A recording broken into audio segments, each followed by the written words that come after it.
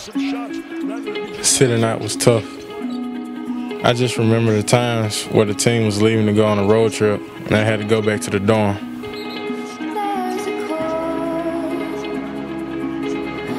You go through blood, sweat, and tears in practice, and you just want to go out there and battle with your brothers.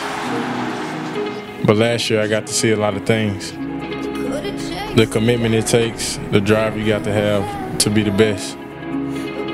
Working hard every day to make Mississippi proud. Mississippi made me who I am. Growing up there, you're an underdog. It helped me have a chip on my shoulder.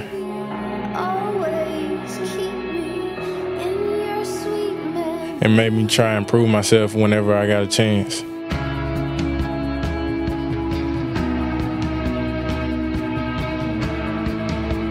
You have to compete. You have to show up every day. I need to get in the best shape of my life. Get as strong as I can. Evolve into a leader.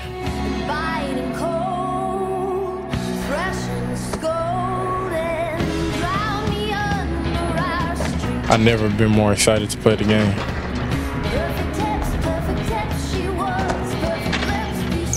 We have to go out there and earn it. We can't wait until January or March. We got guys that are hungry.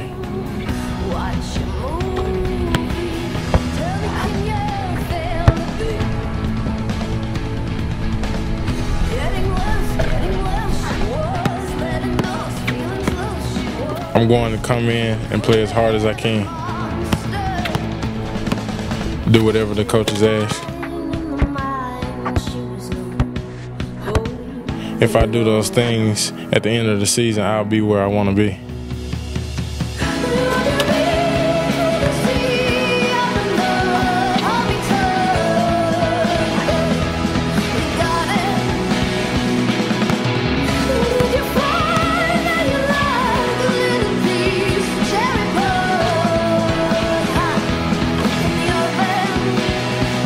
We work now, we will win later.